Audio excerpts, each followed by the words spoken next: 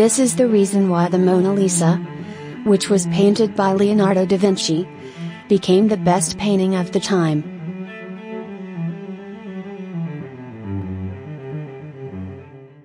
Mona Lisa, also known as La Gioconda, is the wife of Francesco del Giocondo. This painting is painted as oil on wood.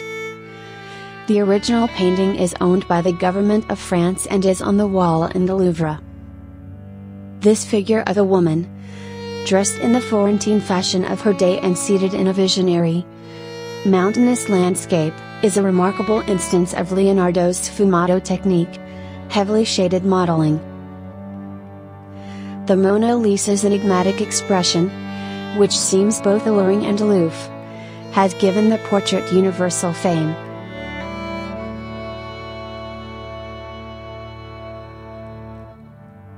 Although Leonardo worked on this picture as a scholar and thinker, not only as a painter and poet, the scientific and philosophical aspects of his research inspired no following but the formal aspect, the new presentation, the nobler attitude, and the increased dignity of the model had a decisive influence over Florentine portraits of the next 20 years, over the classical portrait.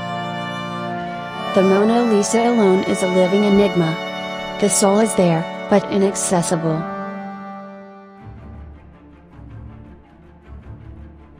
Hidden Secret of Mona Lisa Part 1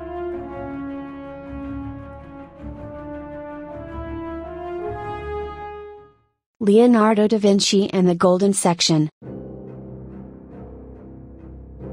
Leonardo da Vinci is drawn according to the golden ratio.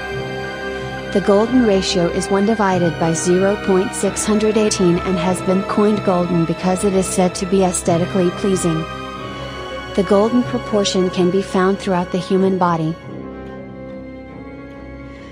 A golden rectangle is simply a rectangle with dimensions that reflect the golden ratio. The Mona Lisa has many golden rectangles throughout the painting.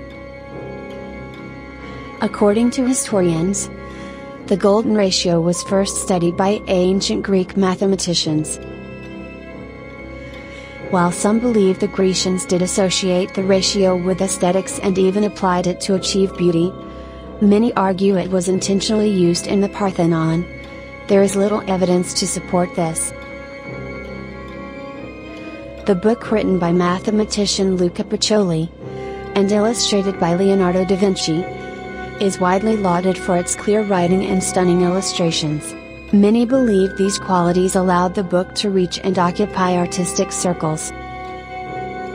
This is why, the Mona Lisa composition is perfect.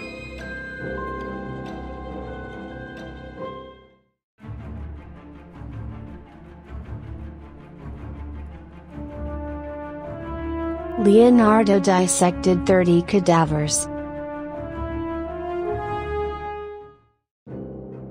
Before painting Mona Lisa, Leonardo previously dissected 30 cadavers to study their anatomy. Da Vinci was not the only Renaissance artist who performed human dissections. And his findings were not always correct. Yet, his anatomical studies remain scientifically significant.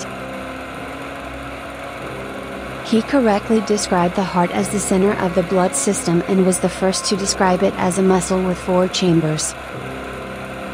He discovered how small vortices of blood help shut the aortic valve. But because his scientific papers and anatomical drawings went unpublished for centuries, this mechanism wasn't confirmed until the late 1960s. Da Vinci often dissected by candlelight, taking left-handed, mirrored notes throughout the process. Leonardo da Vinci dissected some 30 cadavers in his lifetime, leaving behind a trove of beautiful and accurate anatomical drawings.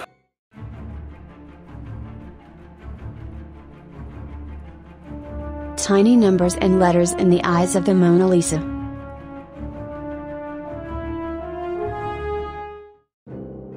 Hidden in the dark paint of her pupils, are tiny letters and numbers. Placed there by the artist Leonardo da Vinci, and revealed only now thanks to high magnification techniques.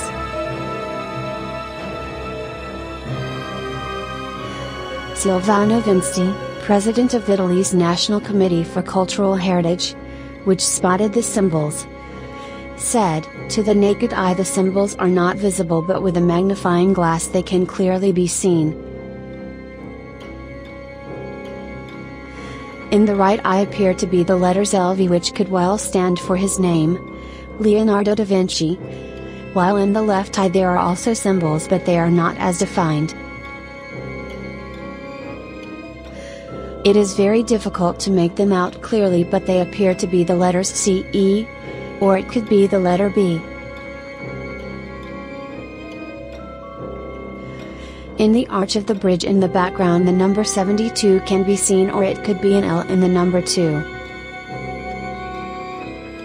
We also know that Da Vinci was very esoteric and used symbols in his work to give out messages. Who knows? They may even possibly be a love message to the figure in the painting.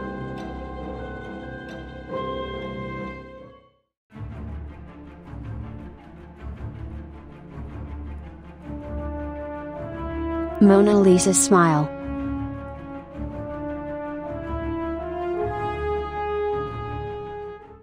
There is a mystery to the smile.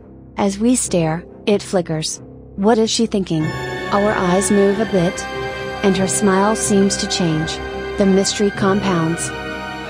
We look away, and the smile lingers in our minds, as it does in the collective mind of humanity. Never in a painting have motion and emotion, the paired touchstones of Leonardo's art, been so intertwined. At the time when he was perfecting Lisa's smile, Leonardo was spending his nights in the depths of the morgue under the hospital of Santa Maria Nuova. Peeling the flesh off cadavers and exposing the muscles and nerves underneath. He became fascinated about how a smile begins to form and instructed himself to analyze every possible movement of each part of the face and determine the origin of every nerve that controls each facial muscle. Tracing which of those nerves are cranial and which are spinal may not have been necessary for painting a smile. But Leonardo needed to know. Scientists recently found a technical way to describe all of this. A clear smile is much more apparent in the low spatial frequency images than in the high spatial frequency image. According to Harvard Medical School neuroscientist Margaret Livingstone. Thus, if you look at the painting so that your gaze falls on the background or on Mona Lisa's hands, your perception of her mouth would be dominated by low spatial frequencies. So it would appear much more cheerful than when you look directly at her mouth. So the world's most famous smile is inherently and fundamentally elusive. And therein lies Leonardo's ultimate realization about human nature. His expertise was in depicting the outer manifestation of inner emotions.